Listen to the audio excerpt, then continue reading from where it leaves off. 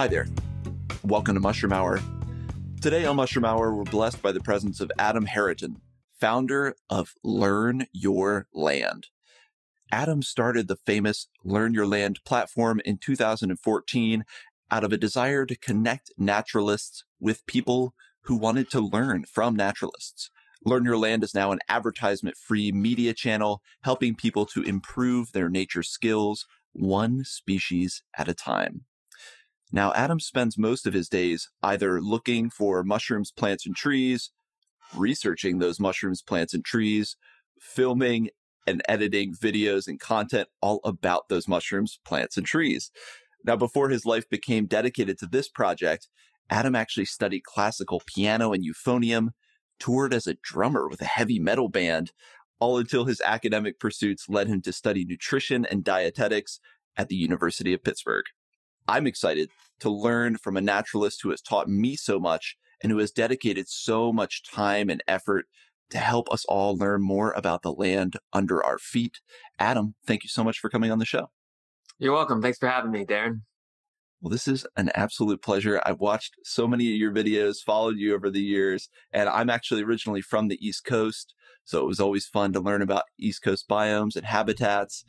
So yeah, I'm just really stoked to have the chance to talk with you. And I'm curious, you know, now your life is totally dedicated to learn your land. What started all that? In reading your bio information about playing music and studying nutrition, you know, being a heavy metal band member, you know, when did this all kind of get you out into nature though and, and focus on the natural world? It's not an easy question to answer, but I guess saying that doesn't provide a good answer for people listening to this podcast. So I have to kind of I know it's a big question. It's a it's a life story, but maybe some of the little synchronicities or important events that that led to that. Yeah, so 10 11 12 years ago, I wasn't the person I am today. And I know a lot of people might say the same thing. Yeah, we changed. We're not the same person we were 10 years ago, 20, 30 years ago. But I really wasn't. I mean, people who hung out with me 15 years ago would probably laugh at the person who I've become. But I'm totally proud of the person that I've become. And I don't see myself doing anything else today. But I largely got here, I think, through adversity, particularly through health struggles. And it mm. wasn't anything major, it wasn't anything serious, but you know, when I was 18, 19, 20 years old, I realized that the foods that I was eating, they weren't optimal for my body. And I don't know how I had the foresight to know that if I didn't start taking care of my body then, then 10 years from then, 20, 30, 40 years from then, the problems would just be compounded. And I don't know how I would end up. Now, I mm. understand as we get older, things happen. You know, we age, we get bigger or we get smaller, we lose muscle mass, things happen. Like I know that's going to happen for sure. But I didn't think that at age 18, 19, 20, those kinds of things should have been happening to me. And I remember reading ingredient labels on, you know, wrappers of like granola bars, boxes of chips and crackers and being like, I can't believe I'm putting this stuff in my body. I can't even mm. pronounce half these ingredients. And all my friends thought I was crazy. They literally thought I was crazy, but it was like a little clue into who I might become if I just followed that path. There's like a little sign, just pay attention to this stuff. And it was just little bits here and there, just removing this from my diet, adding this to my diet, trying different things. And I just became obsessed with health and nutrition. It was just like a hobby of mine. Like the mm. way I am about plants and mushrooms and trees today, just take that away and just talk about vitamin D and vitamin C and protein and carbs and fats. Like I love talking about that stuff and geeking out about it. I loved it so much that I decided to go back to school for nutrition and dietetics. And I previously studied music and I was studying classical piano and euphonium and playing heavy metal on the side. So I went back to school for nutrition and I remember just looking out the window and just thinking, I want to be out there. I don't want to be inside. I want to be outside.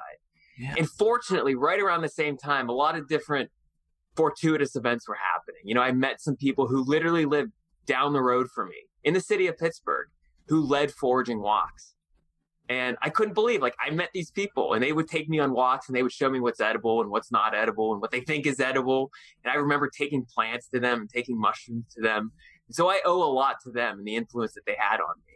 And it was just little bits here and there. I mean, one plant at a time piqued my interest. I would learn about nettles and the health benefits of nettles. So I'd start foraging nettles, bring them outside my home and plant them. I learned about medicinal mushrooms, and that's largely how I got into mushrooms was through medicinal mushrooms and just looking at different trees and thinking, is that chaga? Is that the reishi mushroom? it's not chaga. It's not the reishi mushroom. Until I did find chaga and I found the other mushrooms as well. And I was just blown away that those things existed where I lived. I didn't have to order things online from China or from some other country or I, I could find the things that I needed. They were all around me. And it just kept building and building and building to where now I love going outside, looking for plants, looking for mushrooms, looking for trees. And I realize now that the health benefit, of course, is through ingesting these things. But more so than that, it's the connection to the land that I live on. Like that's the ultimate health benefit, I think. And I yeah. wouldn't be able to get there if I didn't eat these things because it's the most intimate act to eat something. Like you're putting something inside of your body and making yourself out of something. What could be more intimate than that? What could so be a more intimate? that's kind of how I got here from heavy metal, I guess. The path from heavy metal out into nature, but it's like a it's a theme of empowerment. It's a theme about heightened conscientiousness, and I think a lot of people's relationship with wild foods begins with that angle of nutrition, or at least being fascinated by the idea that there are healthy foods that you can find just outdoors I think that's that's a pretty common vector for people to get into wild food. So you mentioned community and the folks that really helped you learn. I was curious about their early days for you, how you heightened your skills, how you sharpened your skills. You know, was this something that you found community and groups to be the most effective way to really start learning the land? Was it influential books or online resources? What was really the key to helping you become a better forager? largely other people and mm. teachers and mentors. And I still strongly recommend that today. I realized I couldn't do it alone because I was so new to all this. I didn't grow up learning any of this stuff, knowing any of this stuff. I did not know the difference between an oak tree and a maple tree even 12 years ago. Like right. you hold up the leaves. I guess I could put a guess as to which one is an oak tree or a maple tree, and I'd probably be right, but I couldn't tell you for sure. Now I can identify those things but really hanging out with people who knew way more than I did and kind of making, not intentionally making me feel uncomfortable, but putting myself in those uncomfortable situations where I didn't know anything and being willing to admit that I don't know anything. I have a lot of newbie questions, a lot of newbie questions just about how nature works, like really simple stuff that you think a four year old would know and should know. right. But like I said, those two people who live down the street from me, they really helped me out early on because they would lead foraging walks back in 2006, 2007. And I wasn't hooked right away, but at least I started seeing plants. Up until then, I never saw plants. They never registered in my consciousness at all. It was music. It was sports. It was academics. It was buildings and sidewalks and skateboards and punk rock and all that stuff, but never plants. It wasn't even like in the background. It just wasn't there at all and they would point out like an amaranth growing from a parking lot meter, like right at the base. And I would think, oh my gosh, not only is that amaranth, but that's a plant, and I'm noticing it for the first time. Also, not only were they huge inspiration for me early on, but I just got so lucky with where I was born, which is in Western Pennsylvania, and we have one of the largest mushroom clubs in the world. Oh, I wow. jokingly say, but I'm kind of serious when I say it's one of the largest nature organizations in the world because Last year, we had over 1,000 paid members in this club. That's huge. Western Pennsylvania isn't that big of an area. I mean, it's not tiny, but it's not huge. But we had over a thousand members last year, and we might hit those numbers again this year. The mushroom community is huge here. And I was also fortunate that when I was getting into this hobby or this lifestyle, whatever you want to call it, a lot of mushrooms were popping up at the time. We had a lot of good years. And so you add all those things together. It's like, how could you not get interested in this kind of stuff?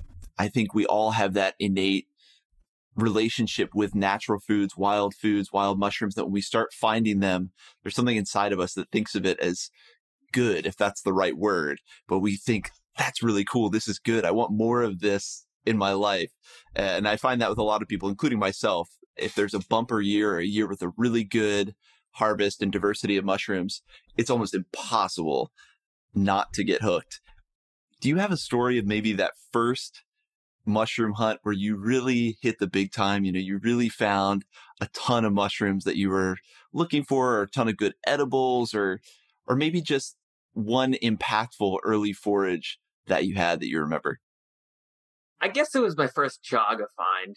You know, eh, a lot of people post pictures online of, is this chaga? And, you know, it's just right. like, it's an old joke now. You, you post a picture of a bike that's in a tree. Is this chaga? or just some crazy thing in a tree. Is this chaga? But I have my first, is this chaga photo on an old flip phone. And I actually just got rid of that flip phone last year only because I had to. They said, we're shutting it off. But no, I've had this phone for like 10 years. That's amazing. But one of the first photos on that flip phone was a picture of an oak tree burl which obviously a lot of people confuse for chaga because I guess to beginner eyes and even from far away, I could still confuse the two as well. Right. And I remember taking a picture on my flip phone. Is this chaga? And I never really showed too many people, but it was just on my flip phone because I thought it might be. And I thought I'll bring it home and show it to my friends. And so I really have empathy for the people who post those pictures. Is this chaga? And I don't side with the people who make fun of those people because I was one of them, you know? And it's like, I understand what it's like to not know some of these things. And I remember finding my first chaga, which was uh, on my aunt's property. She's got property in northern Pennsylvania. And I remember going to her place, using that almost as like a campground to then go deeper into the woods up into New York. Because okay. there's Allegheny State Forest, I believe they call it. or Allegheny National Forest is in Pennsylvania, but the state forest is up in the New York region. And she said, instead of going up there, which was another hour north, just hang out on my property. Maybe you'll see it. And honestly, I thought the only birch trees were paper birch trees at the time. Just those okay. white peely bark birch trees. Right. I didn't know she had loads of yellow birch and loads of black birch. I just couldn't identify those things. But she said, just hang out here. And if you don't find it, then go farther north. So I started walking on her property. Sure enough, after about an hour, I found it and I couldn't believe it. And I was so ecstatic and I brought it back. And she remembers that story just as much as I do. I mean, she was ecstatic for me to find that and she felt honored that it was growing on her property. I'll never forget that. That's incredible. And I guess during this journey of transformation for you, did you drag some of your family with you? I mean, are your family now familiar with the natural world, familiarized relative to a layman? Have they gotten hooked as you've gotten deeper and deeper into this? Only a little bit. I don't drag anybody into this. I realized yeah. a long time ago it's it's not effective to push this on somebody, to push anything on anybody. I guess yeah. you could provide the inspiration and just lead by example. Uh, little bits here and there with some family members, but I'm the only one in the family that does such a thing like this, even yeah. in my extended family. It just came out of left field for all of them. Of course, when you get into my friendship circles, I've got friends who do this kind of stuff, but still, I, I never push this on anybody. And I know it might seem like it, or how could you not do this? You've got this channel where that's all you talk about. And it's really funny because people leave these comments like, oh, I bet if you get this guy at a party, he'll never shut up about mushrooms or trees or plants. I bet he'll just talk all day. Nothing could be further for the truth. I just keep my mouth shut. I don't talk about this stuff. I really don't. And even if people want to geek out about it, I might geek out about it for a minute and then I'll just turn the conversation back on them because I don't know. I mean, I do this because I feel like I have to. It's not because I want to do it. And I just had this realization a couple weeks ago. It's not like I want to do this stuff. I have to do this stuff. And that's why I do it. But part of that isn't dragging people along with me. If they want to come along with me, that's perfectly fine. But I'm going to keep going. That's a really powerful concept. The idea that sharing this information about the natural world that's been so important and transformational to you, you now have a moral obligation to share that information with other interested people. You know, it gets to this idea. It's kind of an esoteric idea of kind of the great work of spreading higher levels of knowledge and enlightenment. It becomes mandatory once you reach those levels to then share that with others. I'm not calling you enlightened, but I am saying that you have information that other people need to know, uh, or that can change people's lives, and you feel compelled to share that. That's really, really a powerful, uh, powerful idea. I guess there where you are in Pennsylvania, it seems like you're able to forage year round, or at least you're going out and looking year round. I've always been struck by some of your videos where you're talking about things you can still find in the wintertime. Uh, so what are kind of the general foraging seasons there where you are in Pennsylvania? And what are you looking for in some of those particular, particular seasons? So where I live in Western Pennsylvania, it's classified as a humid continental climate. So we have hot and humid summers and we have cold winters, generally speaking. Of course, there are some nuances depending if you go farther north or farther east or a little south or a little west. But where I live, which is a little north of Pittsburgh, that's generally what it's like. So we have rainy springs, we have some rainy summers, we have beautiful fall foliage in the autumn months, which is going on right now. And in most years, we have very cold winters with some snowfall. And you're right, you can find something all year round. And interestingly, some of my best mushroom hunting has been in the winter. I can find mushrooms sometimes better in the wintertime than I can in the summertime, just depending on the conditions, because sometimes it'll be warmer in the winter, but it'll be rainy. So you'll right. get things like enoki popping up and oyster mushrooms, and you might see some late fall oyster mushrooms or some other things as well. And in the middle of summer, if it's really, really dry and hot, you won't see that much. But some summers are incredible. This year was a little different. It was quite dry, at least mm where I live in Western PA. So we didn't have that great of a mushroom season, but it looks like things might turn around. I'm not quite sure. But if not, that's perfectly fine because there's way more out there than just mushrooms. I get excited about a lot of other things. But generally speaking, you know, the spring season kind of kicks off the mushroom season for a lot of people because that's when the morels pop up. And they start popping up late March all the way through April into about mid to late May. And then June and July and August, we got the chanterelles, we got the black trumpets, we got the bolete mushrooms, we got the milk cap mushrooms, all different kinds of things popping up. And then usually around mid to late August is when things generally start transitioning over into the autumn mushrooms, which is where we are right now. So everybody's on the hunt right now for hen of the woods or the maitake mushroom. Of course. Everyone's on the hunt for honey mushrooms right now and lion's mane and the Hericium mushrooms. I really like the autumn mushroom season. I mean, it's not hard to fill three or four or five or six baskets in a single day. Sometimes you only have about a two or three week window to do that, but it's easy to do that because a lot of the mushrooms that appear in the autumn months are just massive. It's not like there's a lot of different kinds. They're just the big ones, like a big hen of the woods or a big chicken mushroom. Right. So it's very easy to fill your basket with those. And then by the time mid November rolls around, that's generally when things start slowing down, but it doesn't stop completely. And like I said, I mean, if you have rainy, mild winters, which we do get from time to time, you'll start to see mushrooms pop up.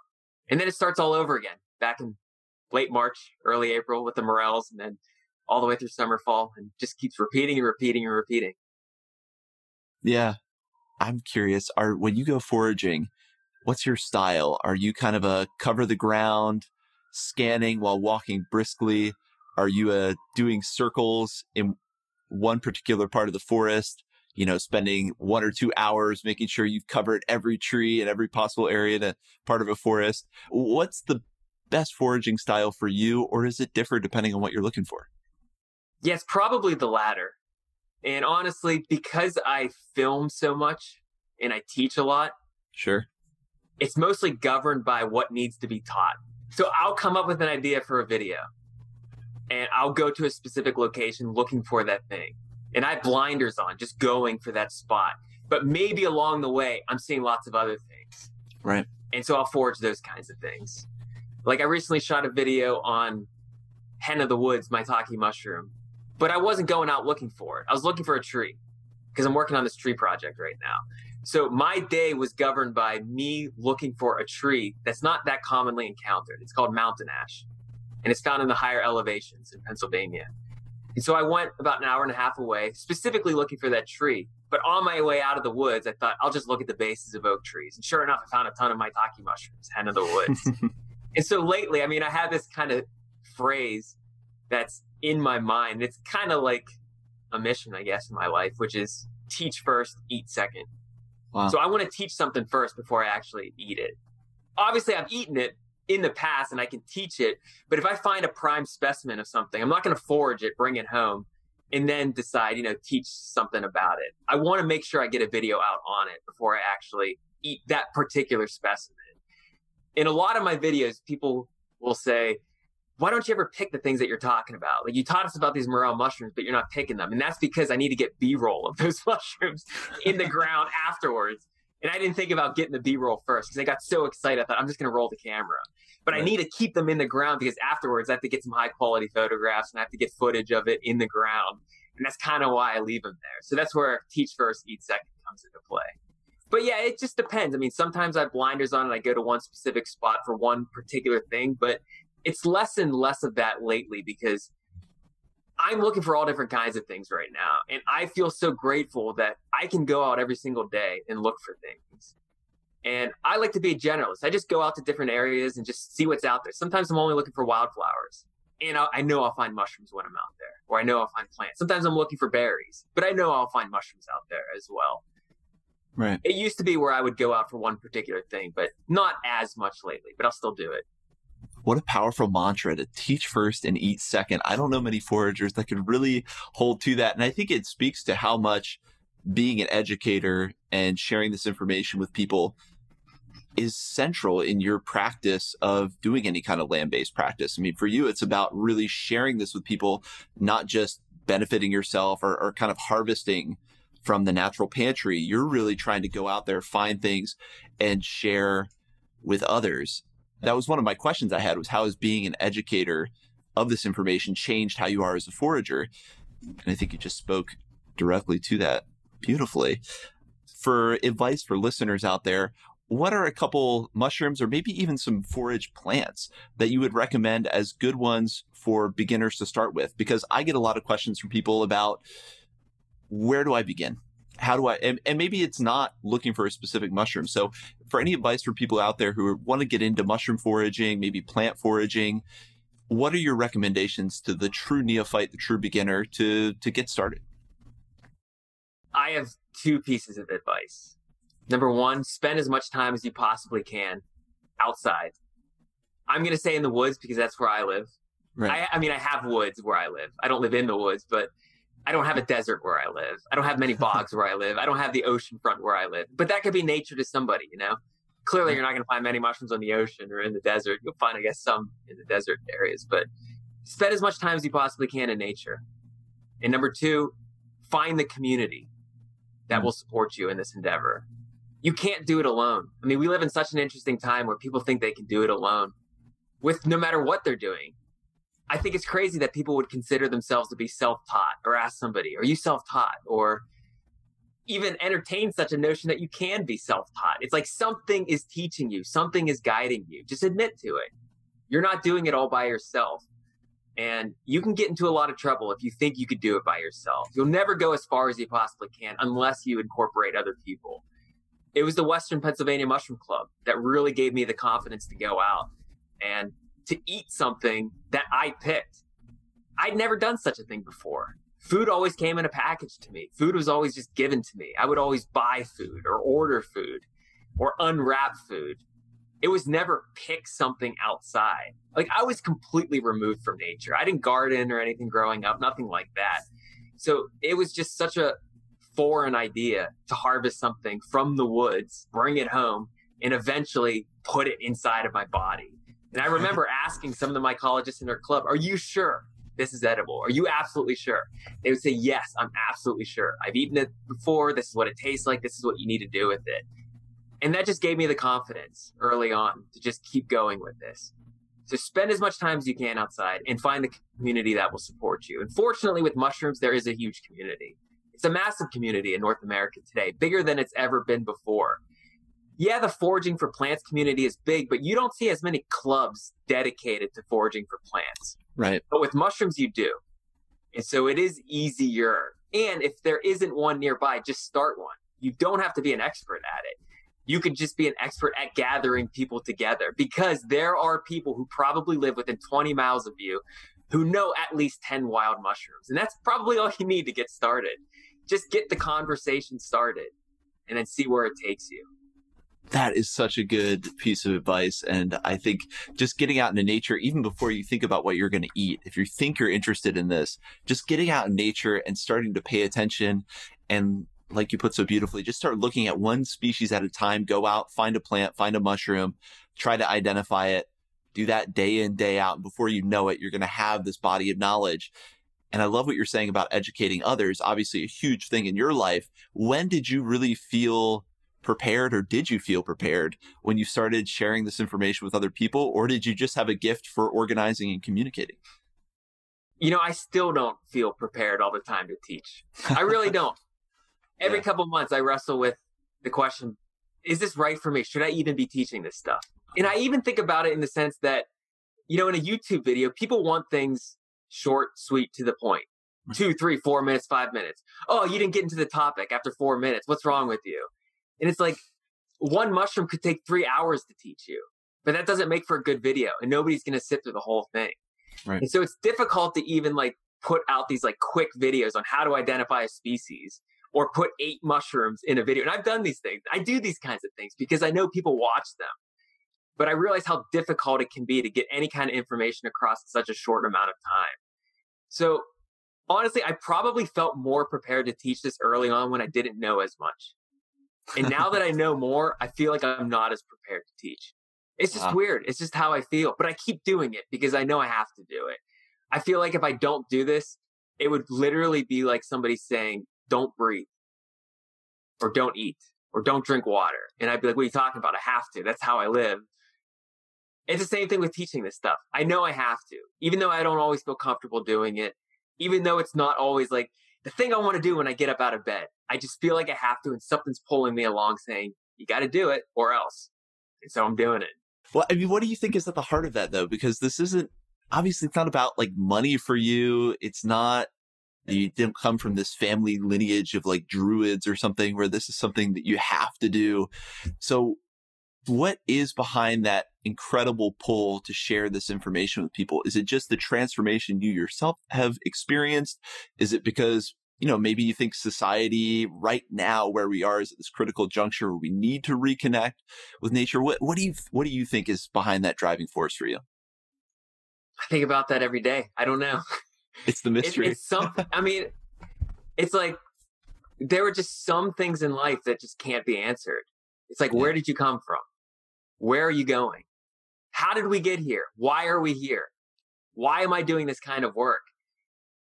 I honestly don't know, but I understand. This is a podcast. People want answers. So I have to kind of like piece together some things that kind of make sense and make it seem like I'm not some crazy lunatic who's just in it for himself and just like making up stuff as he goes along. I mean, yeah, I want to see people get outside. I like seeing people interact with nature in a healthy way.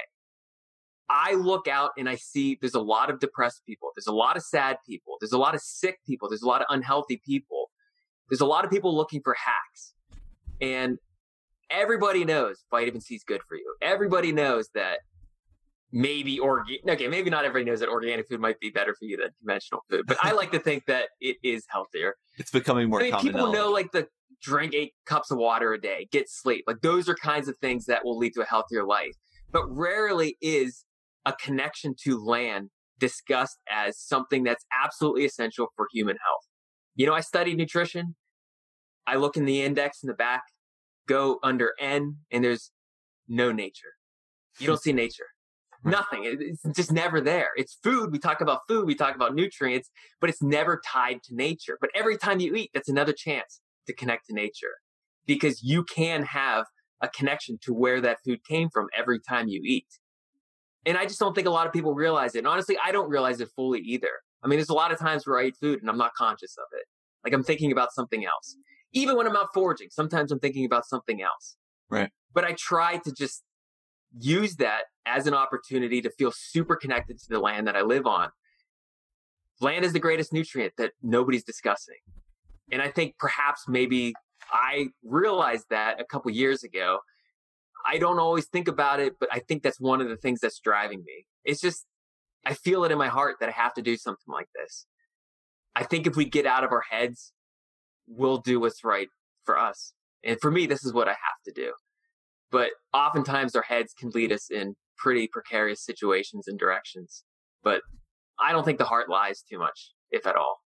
Well, I mean, we're going to honor the mystery about the core of why you do this, but I think you laid out some very good reasons that seem to fill that gap of understanding of why Adam is so obsessed with sharing information about trees and plants and mushrooms with everybody out there. Those are some very, very compelling reasons. And I love that idea of land as the greatest nutrient. You know, I've often heard this idea that there's different types of food. There's the food you ingest physically, there's the liquids that you ingest, but there's also the ideas, the thoughts, different things that you imbibe into your system. And you may be in a perfect place to expand our milieu of I- an idea of diet to include some of these other aspects that might nurture your emotions or might nurture your spirit in a way that just straight physical food maybe can't and often may do the exact opposite when we eat too much of something we know isn't good for us. So that's really, really, really interesting. Do you have any advice for other people who are educators you know, other people who do what you do want to share more information because you've been particularly impactful. You've reached a lot of people. You know, do you have any advice for other naturalists or educators? Maybe tips on what they can do that you found to be most effective at communicating or organizing? Any little tidbits like that? You know, we kind of talked about this before we hit the record button, but don't make it about yourself. If you're educating in this stuff, it's not about you. Don't make it about you. The best educators that I know, the best educators that the world knows, understand that it's not about the educator. It's about the subject. It's about what they're teaching.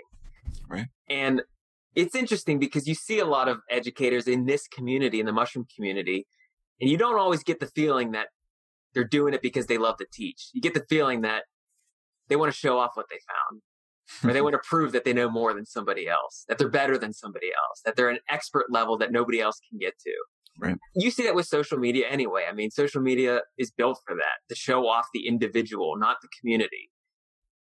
And I never got into that stuff. I mean, clearly I have social media, but if I could remove my face from it, I would. But I understand that people like to see another human being. They can connect to a human being better than they can connect to a plant or a mushroom. And so I try to be that conduit between the two and connect the two. But if I could remove myself and still have an effective channel, I'd probably do it. But I don't think it would be as beneficial to just hear a voice and just see B roll all day. I guess people like to see me get excited whenever I talk about this stuff.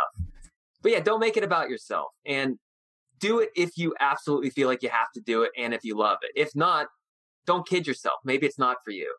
I mean, maybe somebody doesn't absolutely love it and they're still trying to teach this kind of thing. Don't kid yourself. Let somebody else take that role. I mean, there's probably something else for you to do. This isn't just for educators in the mushroom community, but just any educator. I mean, I don't know what kind of education you had growing up, but I can probably name only three or four teachers who actually loved what they did.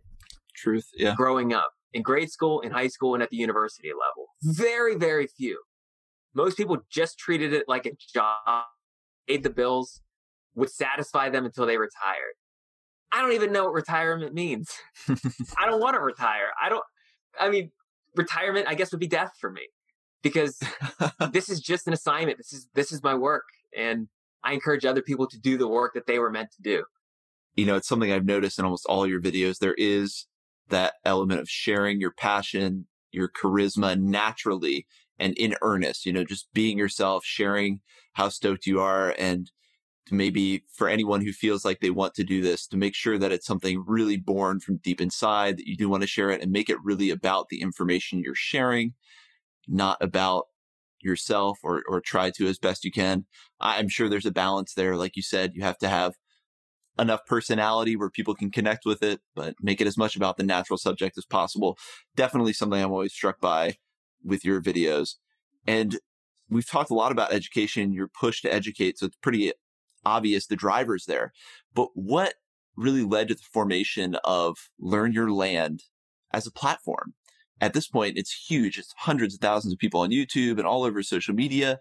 But what led you to think, okay, I'm going to start making videos and really putting out this content because clearly it's like an extra responsibility to take on when you're out communing with the natural world and foraging. You suddenly have to think about how am I going to frame this? How am I going to present this? So, what really started that ball rolling for you? So, I created Learn Your Land in 2014 because I wanted to learn the land that I live on. Okay. And so it was basically just my mission in life. I'm just going to call it. That's going to be my project. It's going to be my organization, Learn Your Land. And like you said in the introduction, it was mostly a way for people who wanted to learn skills in nature, like plant foraging or mushroom foraging or tree identification, for those interested people to connect with naturalists and educators.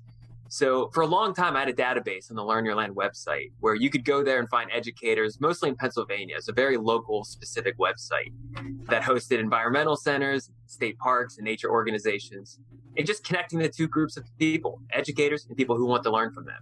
Because that's what I wanted to do. I felt, oh, this is such an easy way to learn. There's so many state parks who offer these free classes or very inexpensive classes or these environmental centers that have like bird walks and all these different things. And if you just attend these once a week, you could learn so much information.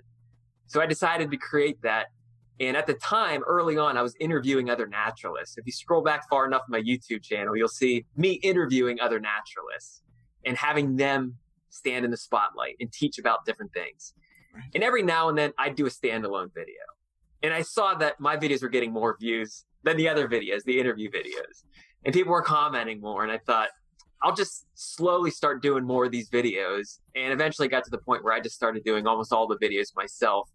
I guess every now and then I'll interview somebody, but it's mostly me talking about a plant or a mushroom or a tree.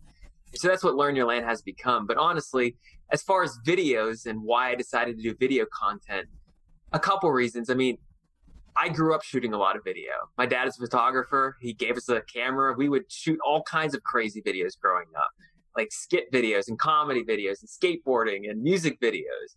So I was very good with the camera and to a very small degree the editing process. I was at least familiar with it. And in 2014, 2015, blogs were kind of like being supplanted by video content and image content. And so I was blogging too, but not many people were reading things that I was writing. And I realized that people were just watching the videos. And honestly, I like doing videos now because it's harder to do. It's so easy to take a picture of a mushroom and post it on Instagram or Facebook and say, look what I found. It's right. so much harder to shoot a video on it. And I like that discipline. Like, I like that hard work. It's stressful sometimes. I don't always want to do it. It'd be so much easier to just post a picture of a chicken of the woods that I found. It's a lot harder to spend a whole week researching that thing and coming up with some kind of story that somebody would want to sit through for 10 minutes. I learned a lot by doing that. I learned so much more by shooting a video than I do by creating some kind of written content on Facebook or Instagram or in a blog because I'm spending a lot of time with that organism. I'm photographing it, I'm videotaping it. So right there, there's like an hour, an hour and a half of me just sitting there with that thing, observing it, moving it around, holding it, shooting it at different angles. And I'm just picking up so much information and then bringing that home and either eating it or studying it some more, maybe under a microscope, but researching it. And then the editing process, you listen to it over and over and over again. At least I do. I mean, I check these videos 10, 15, 20 times before I release them, just making sure I don't make any mistakes. Right. And you just, it's basically like listening to an audiobook on chicken of the woods or an amanita mushroom or a Hericium mushroom.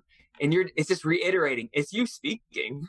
I mean, you're just right. speaking to yourself basically. You're just listening to it over and over and over again so that when you go out without a smartphone or without a book and somebody says, What is that mushroom? and they want to know about it, uh, you could speak for half an hour, an hour on it if you wanted to. I don't do that, but you have that kind of information. So the video content is basically like me getting a PhD in every single mushroom or plant or tree that I learned because I'm putting in a lot of time doing it. You know, I have to agree. When you listen to something a second time for any interview that I've ever done, when I listen to it again, I actually get so much more out of it than when I'm doing it the first time around. So that makes a lot of sense. It's still part of your learning process. I mean, you're helping share with others. There's a craft to it, almost an art to it to make an effective, compelling video. But then it also is part of your education process. And it gets back to that adage that I love, which is a lot of times we teach what we need to or want to learn. So that all makes a lot of sense. Have you gotten any feedback from people over the years? I'm sure you've gotten feedback from people, but is there any particularly uh, potent feedback or stories that you've gotten from people about how you've influenced them or changed their own relationship with the natural world or anything like that that's really kind of been this like amazing affirmation of wow the work i'm doing is really changing and, and sharing what i want to share with people yeah i mean i get emails a lot and comments about somebody watching my video then going out and finding something and it's always neat when they think i'm reading their minds where they want to learn something and all of a sudden I put a video out on it. But I think it's just because, you know, things are in season. So they're thinking about something. And so right. I just happen to put a video out on that. I mean, there's nothing really in particular that stands out, but it's interesting. You know, I don't talk a lot about medicinal mushrooms because I realize how controversial of a topic it can be these days. But I've gotten countless emails over the years saying, thank you so much for teaching me about this particular medicinal mushroom. I had X condition for years, even decades, and I don't have it anymore. And the only thing that person changed was they added a particular mushroom into their diet. And it's not like it's going to happen to everybody. And it's not like you can prove that such a thing will happen to another person who would have the same exact conditions, same exact circumstances. Right. But it happened for that person. And how can you argue with that experience? You know, people always say, there's not enough research on this stuff. It's like, yeah, there will never be enough research. Like, that's the game that these people play. If it's a natural medicine, there's never going to be enough research. That's just Sure. the way they want it. But if you have personal experience with something, I know like we're stepping outside of the realm of science, but to somebody who doesn't have lupus or multiple sclerosis anymore, and they did for 15 years, what are you going to say? Stop taking that mushroom because there's not enough research. Even though it healed you, even though it fixed you, stop taking it because there's no science on it. It's crazy to me. But I get emails like that from time to time. But I don't push it on anybody, this kind of stuff. I just say look into it because you never know. And what they did for me is these mushrooms, the medicinal mushrooms, keep me tethered to the forest because they were the first ones that got me out looking for mushrooms. Even edible mushrooms and looking for poisonous mushrooms and all different kinds of mushrooms just for study. Yeah. But whenever I drive around, I mean, I'm looking at the trees. I'm looking for conchs. I'm looking for things just pointing out of, sticking out of a tree, seeing if it might be a mushroom. And no matter how much I want to, you know, maybe work inside for a day to just edit something or not like I want to take a break from spending time in nature, but there's obligations, you know. The mushrooms keep pulling me back into the woods, so they keep me tethered to the forest, and I owe the medicinal mushrooms for that. And if nothing else, it's like they're medicinal in the sense that they help me find my passion. Wow. And what could be more medicinal than that? It's like you can give me all the medicine you want, but if I don't know my passion, why would I want to live? There's more sides of us to nurture than just the physical body or the physical vessel. There's many more things that need nutrition. And this is interesting coming from someone who is a nutritionist, someone who studied dietetics. I guess how much do wild foods now? I'm imagining it's like this centerpiece of your diet. You've got your medicine cabinet stocked from the forest, but how much does wild food and wild medicine uh, really feature in your life and in your diet on all these different levels? In my mental diet, about 98%. Sure. meaning I'm thinking about it a lot. As far as, my, I mean, I've never calculated like calorie wise and percentage wise. Honestly, it's not that much because I feel like I need to teach more than eat these kinds of things. it's just a lot of time involved to film these things, to research them, to edit. I wish I could go out and harvest hickory nuts all day and black walnuts all day and hunt deer all day if I could, because I could really stock up my pantry and fill my freezers with this stuff. And I do to some degree, but it's not anywhere near where I would like it to be. And I also realize that you could never do it alone. Again, you would need a community to support you in this. If you want to Yeah. live off of wild foods 100%, good luck trying to do it contently by yourself, even with one other person. You can do it. I know people who have tried it as an experiment, but I don't know anybody who's done it longer than two years or even one year.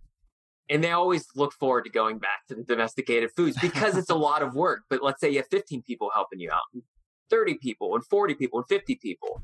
Then you could easily get something like this done. But as far as water, nearly 100% of my water is wild water, meaning I go out and I forage wild spring. water. Wow. Yeah. So that was a discipline that I implemented 10 years ago, and I've never wavered from it. I mean, it is at the centerpiece of my hydration strategy. I don't talk about this a lot. I don't know why I don't. I mean, I tend to focus on foods more than water, but 100% of water is spring water, unless it's like I'm somewhere else where I have no access to fresh water and I'm really, really thirsty. Of course, I'll make some sacrifices, but if I can choose, it's going to be spring water. Medicine, nearly 100% of it is wild foraged. It's a lot of mushrooms, a lot of plant tinctures.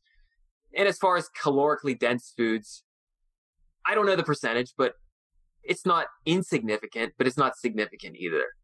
But Right. every day I'm eating something, either nibbling on it out in the wild or making a significant meal at it out of it at home because I did forage or harvest a lot of it. It's there and it grows every year. I mean, it gets stronger and stronger. Yeah.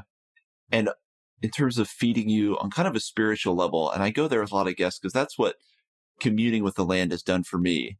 You know, how has this incredible connection you've developed with the land right around you there in Western Pennsylvania, how is that integrated into spiritual practice for you? I think that can look different for everyone, whether it's, you know, foraging is the act of meditation or whether it's enhanced other practices like meditation or yoga where you need some kind of alert stillness. But how has this connection with the land become part of your spiritual practice? If it has, and you might tell me, no, it's, I'm not really woo woo. It's not really spiritual for me. So I don't know how you would categorize what I'm about to say. Maybe some people would consider it spiritual. Maybe some people would consider to be material and not like the two are always separated, but it's made me feel like I belong to a place. Like I'm not homeless. Clearly I have a home. I'm talking to you through this incredible technology, sitting in a nice warm home right now. But beyond that, feeling like I belong to a particular piece of land.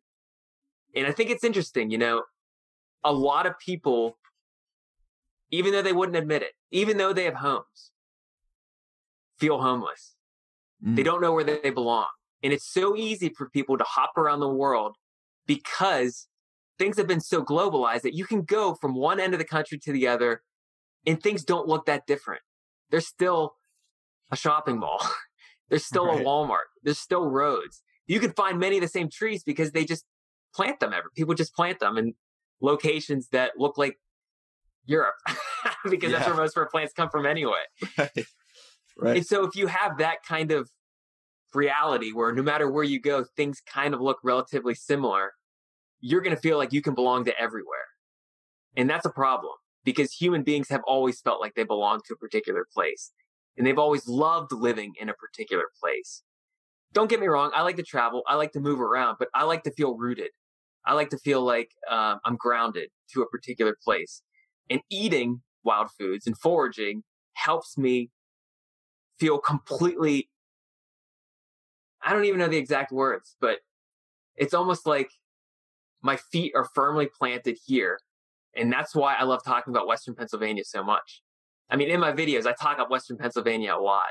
And a lot of people want me to travel to different places and do videos all over. And maybe one day I will.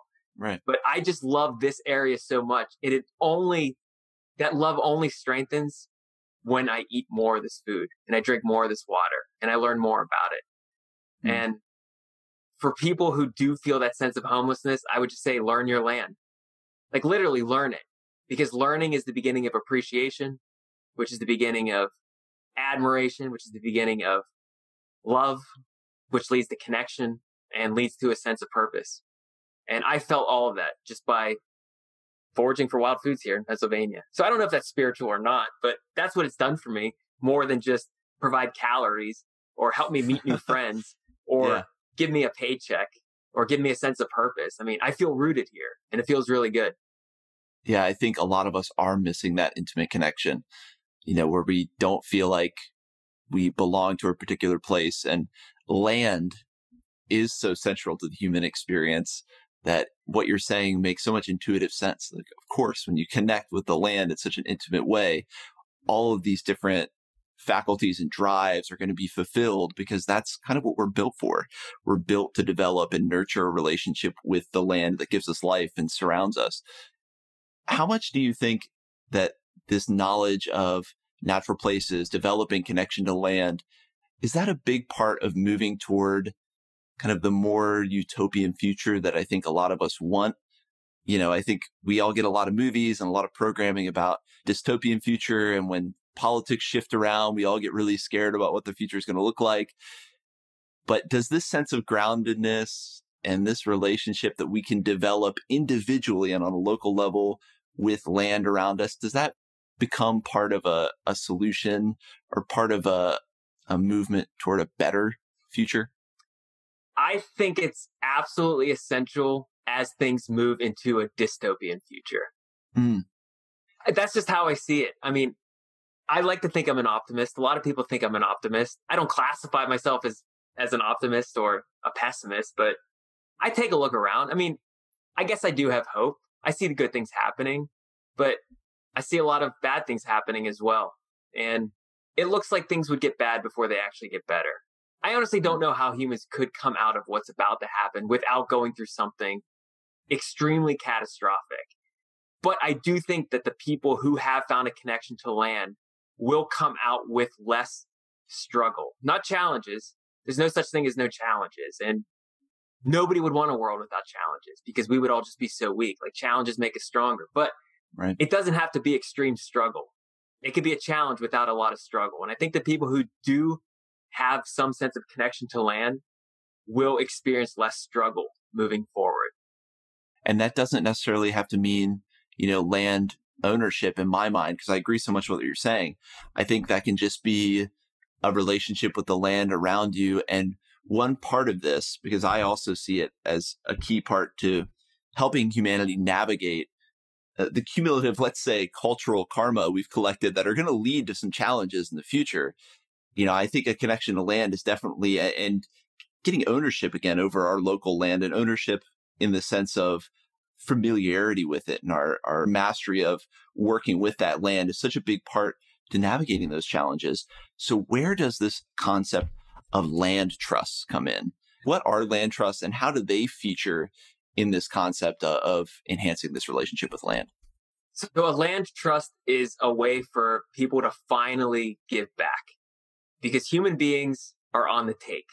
We take, we take, we take, we take, we take, we use, we use, we use, we exploit, we exploit, we exploit, we right. abuse, we abuse ad infinitum. But what do we give back? Hardly anything. I mean, I harvest so much from wild spaces. Yeah. And the amount that I give back is so small compared to what I take. And I don't feel good about that. And so I'm constantly trying to have this conversation with myself and with other people who are willing to listen about, you know, as foragers who take, what can we give back? And I understand yeah. that, yeah, you're harvesting mushrooms. We are helping it to sporulate in the woods. You're actually making for more mushrooms. I get that. I understand. But still, why didn't you pick up that trash when you were out there? You saw it. Why did you walk right past it? Why did you not donate money to the volunteers who are taking care of those trails? Why did you just run home and post a picture of yourself smiling next to this big haul? And then on to the next picture, on to the next picture, on to oh, the next one, picture. That one hit close to home. it hits close to home for all of us because right. we're all guilty of it because it's extremely ego gratifying to do this kind of stuff. Because I mean, it's competitive and I understand it's not like it never wasn't competitive to hunt the bigger deer, or the bigger elk, or find the bigger mushroom, or more plants, or the bigger honey hole, all those kinds of things. Like I get it, but there has to be some kind of reciprocity involved. And it could take the form of all different kinds of things. It could be, like I said, picking up trash. It could be planting native plants somewhere or turning your yard mm. into a native plant garden, essentially. But one easy way for people to do is through money because yeah. money talks. And you could do a lot of good with money. You could do a lot of bad with money. You could do all kinds of things with money. But one thing you can do is help to protect land from being developed. And land trusts are organizations that can help you do that. They can take your money after you give it to them, of course. I mean, it's completely voluntary, but they'll oversee a particular piece of property and make sure that it stays in good hands for a very, very long time. I would say forever, but who knows what forever actually is. I mean, I don't know if that's a legal term or not, but right. you can donate money to a land trust. They can take care of a piece of property or they can take care of what are called conservation easements, I believe, which is you could donate not necessarily your entire land to a land trust, but you can basically have legal agreements over what that kind of land what things can be done to it or not done to it moving right. forward. So even right. if you die, the next owners still can't develop it. Even though those owners own it, there's a conservation easement, there's an agreement with a land trust that says, well, actually, you cannot put any more structures in there, or you cannot put a road through there, or you cannot turn that particular piece of land into a housing development. You can own it, but you can't do that because we have an agreement with the previous owner. Yeah. But there are lots of land trusts out there that work on conservation of land, of wetlands, of mountains, of valleys, of plains, of plateaus, all different kinds of areas. And they basically give a voice to wildlife first and humans next or third or fourth or fifth. And hmm. most people who talk about land, you know, with real estate deals, it's all about the people. It's all right. about never factor in wildlife, never factor in animals, never factor in plants, never factor in mushrooms, never factor in anything else except human beings. And for once, with the land trust agreement, the land speaks first. And it's so easy to do so. I mean, you make some money, donate to a land trust at the end of the hmm. year. You can write it off in your taxes if you have a good CPA. And there's a lot of land trusts out there. And um, I strongly support people doing that with their money. It's not the only thing that you could do, but it's an important thing that somebody can do. And I mean, even going further than that, maybe somebody listening right now will take this to the extreme and work as hard as they possibly can, acquire a lot of land, and then put it in their will that a land trust will take it after they pass away. And so it will be prevented from being developed forever, essentially. And I know that's a huge task. Like, why would somebody do that? Or can everybody do that? But maybe somebody would do that. There's a lot of things you can do. Well, you just laid out an argument for why this is, you know, developing a relationship with land is so important to the future of our societies. It's important that we then save pieces of land to actually develop a relationship with. Uh, and that's what I was struck by is the concept of a land trust seems like a great vehicle to maintain natural spaces for us to then go and commune with and help to develop that sense of place. And e- even if we don't own land ourselves, I'm sure like me, a lot of listeners don't actually own quote unquote land or, or property. And, you know, we need to find places where we do have access. And we're, I'm lucky enough to be in California where we have a robust, you know, state park system and actually they're okay with you harvesting mushrooms, but it's not like that everywhere. And it just seems like such a great way to pay it forward, preserve parts of nature for us to, I don't want to make it too much about humans, but for us to then be able to go back to and, and continue to, to develop those relationships you know, I'd be totally remiss. I skipped this question and we've gotten into like really big conceptual talk, which I love because I see the work you're doing and what you're trying to inculcate in people as such a big part of kind of moving the needle back to helping humans achieve homeostasis with the planet. But I'd be remiss if I didn't ask you about your basics of mushroom identification because this is the mushroom hour and you do so many videos identifying mushrooms. So for me and those of us out there who are mushroom foragers, when you find a mushroom in the wild, you know, what are some, and maybe even before that, how are you picking out where you're going to look? And then what are you looking at when you actually find a mushroom that's going to help you figure out how to start identifying it? There's a lot of questions there, uh, but a lot of good questions as well like I said before, honestly, when I'm going out looking for mushrooms now, it's usually uh, a result of me probably looking for something else. And then I come across right. a lot of mushrooms because there's a lot of things out here in Pennsylvania that I just get so excited about. But when you're looking for mushrooms, I mean, a lot of people just want to find the edible mushrooms. And I would encourage you just learn them all as they come along. Each mm. one is going to present itself to you at a certain point in your life and you don't know if that's by design or not, but let's just pretend it is by design. Right. if you don't learn that one right then, you might never learn it again. Because as you know about mushrooms, these things are so ephemeral, they're so mysterious. You might see it once and never ever see it again, even in the same spot, even if the conditions seem ideal. It could be a decade before you see the same species ever again. And so try to learn them as they come along. And I encourage people to take photos of things. And I know a lot of people do that today because they've got the devices to do it. But I really learn things when I spend more time with them. And it isn't just a photo. That's why I like taking video. But I understand a lot of people aren't going to go that far. But as much time as you can spend with each mushroom, the better you're going to be able to get a, a good identification of that particular species. So spend lots of time with it. I don't use too many field guides these days. I mean, I understand that field guides have their place and there are a lot of good ones out there but it seems like with online identification with facebook groups and iNaturalist and mushroom observer there's just big communities out there that will support you and give you almost an immediate id right. but i do encourage people to try to figure it out themselves first because by doing that even if you spend two days looking at all these different mushrooms online or in a book and you can't come up with the answer you are learning other species at the same time because you're comparing and contrasting things. You're picking up on the jargon and the language that they're using. Like, what's a site? A stipe? What's a basidia? What's a spore? If I don't even know what a spore is, or what's a micron, or what's a cap? What's a pileus? What are all these things? What's lamellae? So you might look those things up. But if you just post a picture of something online and you get an immediate ID, you're not getting any of that information whatsoever. And it's hmm. on to the next species and it's on to the next species. I've been able to learn a lot of this stuff because I try my very best to learn and then bring it to the community afterwards. Right. And honestly, I think that's what any good educator would do.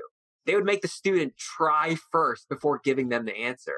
And then as the last resort, the educator says yes or no, or let me help you further with that identification. But just learn it one species at a, t- at a time. And also understand that foraging for mushrooms and being a good mushroom hunter takes a lot of time. It's a skill just like any other. If you want to learn piano, you are not going to learn it in a year. Trust me.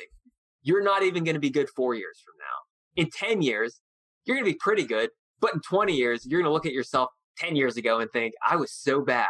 Right. It's the same right. thing with mushrooms. Just treat it like a skill that you can try to master, but I hate to say it, you're never going to master it because there's no such thing as mastery in nature.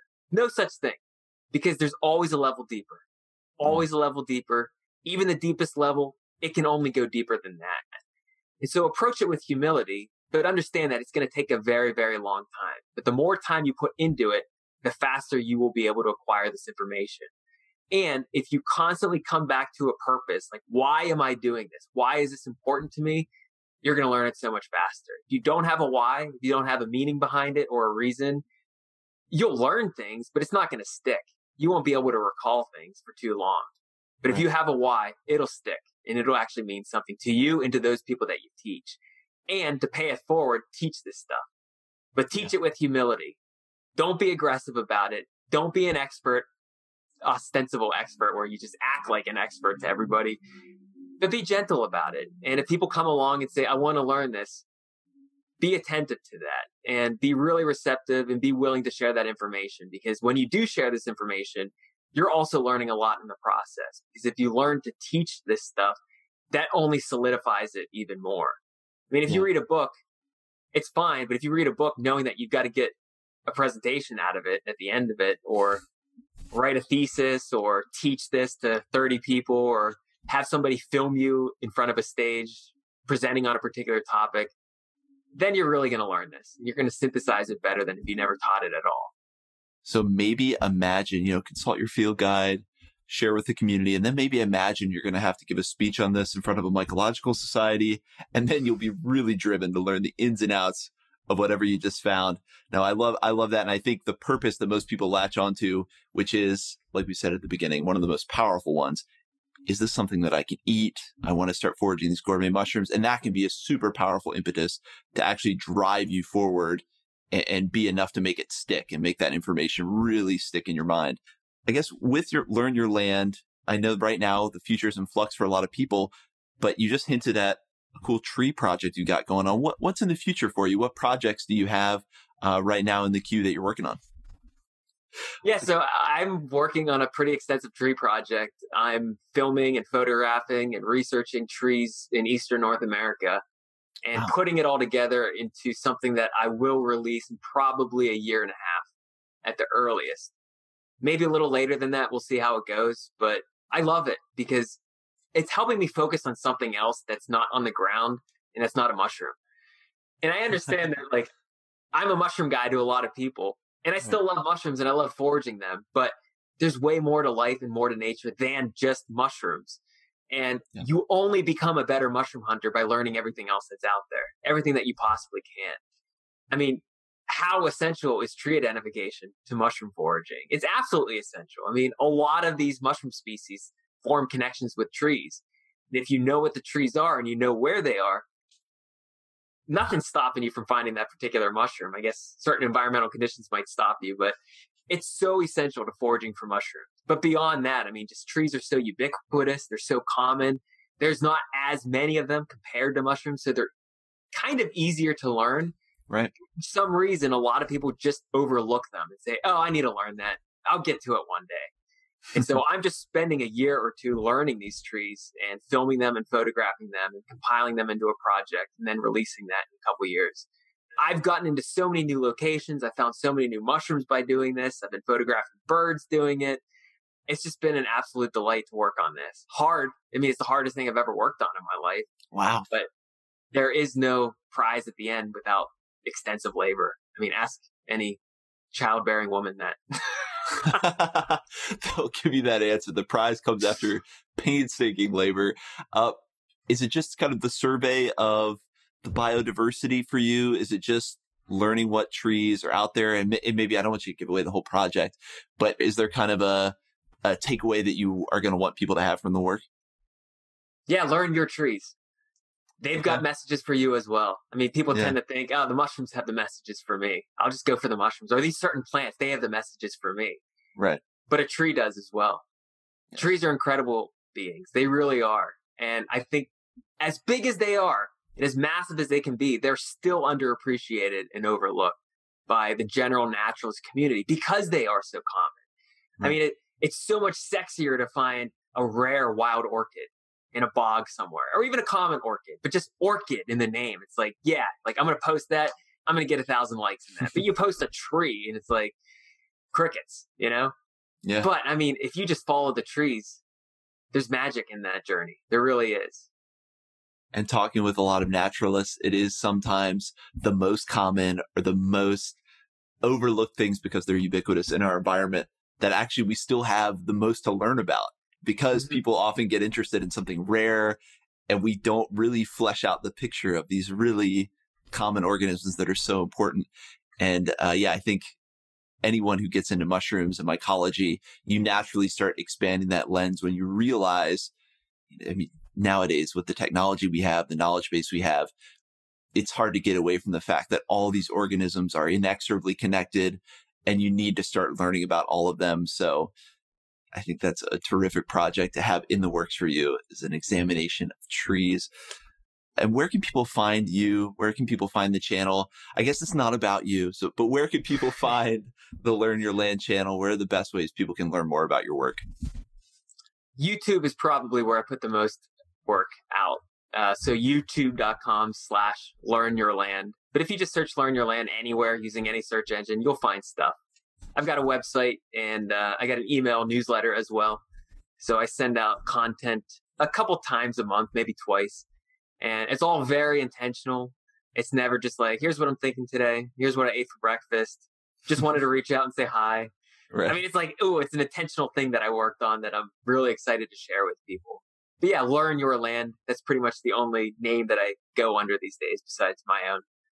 And I think you go by that name more than your own. If the internet is any indication, I find learn your land more than, than Adam Haritan.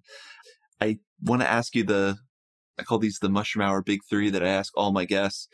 And the first one I love because I get so many great answers, but what is a mushroom that you love or really appreciate and why?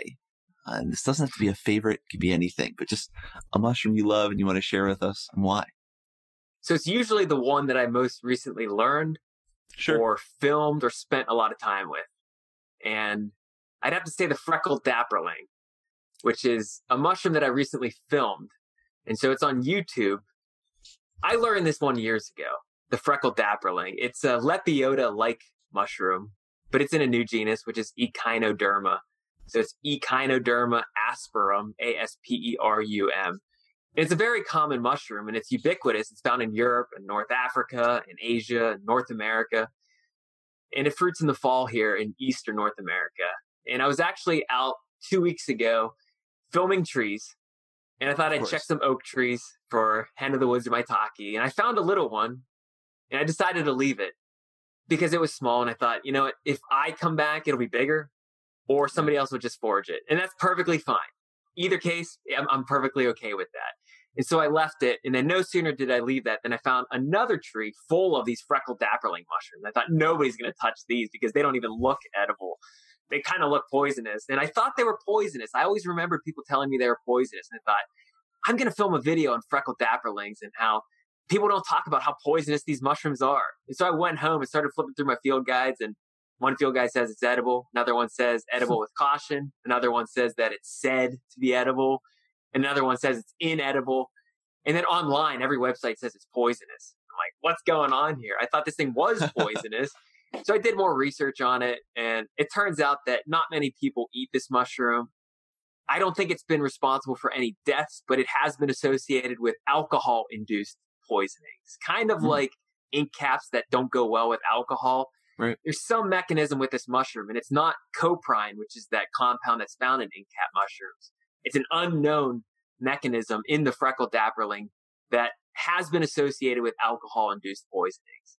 And so I researched this. I did about eight hours of research and condensed this down into like a 10 minute video and put it on YouTube. But because I spent so much time with it, I just had a really strong appreciation for it over the past couple of weeks. And I understand that it'll pass and then I'll be on to the next mushroom, the next one. But you asked, and that's the one at the top of the list for me right now. That's the beauty of that. And I love hearing mushrooms people are into. Maybe I should start asking, you know, what's the mushroom of the moment for you? Because that's really what I want is what people are into right now. So that's that's perfect. Uh, and then kind of a big broad question, but what has a relationship with mushrooms and a relationship with kingdom fungi, fungi, fungi, uh, given to you? You know, what has that brought to your life? How's that changed perspectives or or deepened your relationship with the natural world? So two things, and I guess I kind of mentioned them earlier, but I'll mention yeah. them again. Number one, they keep me tethered to the forest more so than most other things. I know I keep talking about trees, but early on it was the mushrooms. Like that's what actually it was like the gateway organism to nature. Right. I wouldn't have found my way back into there. I don't think the plants had that strong of a pull for me early on, at least. Now it's all pretty much equal, but they kept me tethered. It's like I could walk away for a little bit, but boom, I'd be snapped back. Go away for a little bit, boom, be snapped back. Like I'd be skipping obligations, like bailing on friends because I have to get into nature. Like the mushrooms are calling, right. so I got to get out there. So they just kept me tethered there, and they still do to this day. But they've also given me an assignment, and that's how I kind of look at this work. And as I mentioned before, this is work that I feel like I have to do, and I feel like it's an assignment. I don't know who gave it to me. I don't know why I've been given this assignment. I don't know when it's going to end but I treat it like any assignment that I've been given in school. I'm going to work hard at it and I'm going to try to pass. And I'm just going to keep doing it. Like I'm going to set aside other things. I'm going to sacrifice a lot of my life to just complete this assignment. And who knows, maybe in five years it'll be done. I have no idea. And if I'm feeling called to do something else, like teach people about cars or football or I don't know what else it is, anything. Heavy metal. Heavy metal. Yeah. Maybe that would be more realistic. I would honor that feeling inside of me. But the feeling now, that force is pulling me out here to do this assignment. And the mushrooms were basically the first organisms to tell me that that is going to be your work. Wow. So it may have been some rogue mushroom mycelium that overtook Adam's body, or maybe some tree roots that got in there. But you have that thing that I think all of us hope to find and I have a little bit of that. And that's why I want to put the mushroom hour out. But it's that driving force of like, I don't know why. I just need to do this. It's that core of purpose. And yeah, it's, it's something that once you find yourself driven like that, you just have to pursue it and see where it leads. And I think you definitely have, are taking that all the way. And I'm excited to see, to see where this leads for you. And then what is the lasting impact that you hope to make with your work? We've nibbled around the edges of it, the, whole talk that we've had here. But what's the lasting impact you hope to make uh, in teaching people about the land? You know, it's such a good question. And it's not a question that motivates me. I never think about it. I never think about my hope for this work or what I hope that it will do or how it could inspire people. Like I understand that it does those kinds of things. Sure but it's not something that I focus on. Like I said, it's just work that I have to do. And any influence and motivation that I provide, I guess, is secondary to just putting my head down and getting this stuff done. I mean, I understand that all the standard answers are like, yeah, of course you would want to get people outside and you'd want people to be inspired to learn plants and mushrooms and trees and donate to land trust and all that. And who wouldn't want that? Like, I want that as well. But as far as lasting, I'm not even convinced that anything is lasting.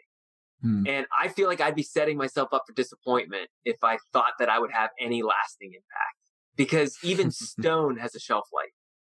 Everything has a shelf life, including my work.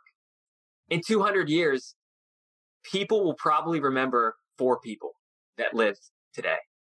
I mean, how many people can you really name that lived a thousand years ago, 2000 years ago, 5,000 years ago? Hardly any at all. And I've just accepted that that I've got work to do now. I understand that it will definitely have rippling effects for the future, and I hope that they will be positive. But I also understand the other side of impact, which is the negative side of impact. My impact on this earth has been huge. And I don't mean that in the sense that, oh, look at the videos that I put out. Look at the Instagram following that I have. I mean, how many trees have been logged for my existence? How much trash has wow. accumulated because I've been alive? And what have I done to mitigate that. And I can honestly say not that much, but I'm trying. And so I think what impact I want to have is actually a pretty small one. I'm trying to reduce my impact. Unsurprisingly, that's the answer I get from many naturalists. It's like, well, it's not really about the impact. It's actually about kind of moving the needle so we all have less of an impact, really. But Adam, thank you so much for coming on the show and just sharing more about who you are. I was deeply curious because you're someone who I've watched your videos four or five years ago when I was just getting into foraging.